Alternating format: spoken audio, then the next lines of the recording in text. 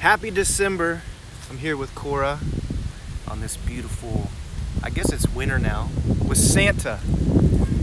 And I wanted to announce a new campaign I'm going to be working on this month 25 Days of Christmas. And every single day, I'm using a word generator online to come up with a random business or a random industry and come up with a campaign for that business.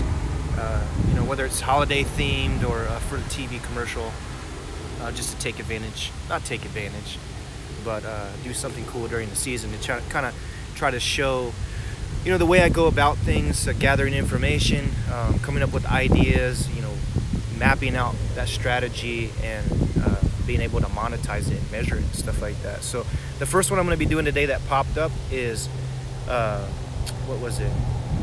Uh, editing services. And I swear, all these cars start coming by as soon as I start to record. And there's little Selah. Um, so be on the lookout for that. Uh, editing services, we're going to do copy editing services, uh, Christmas themed commercial, TV commercial. We'll see what these knuckleheads come up with. Have a good day, guys.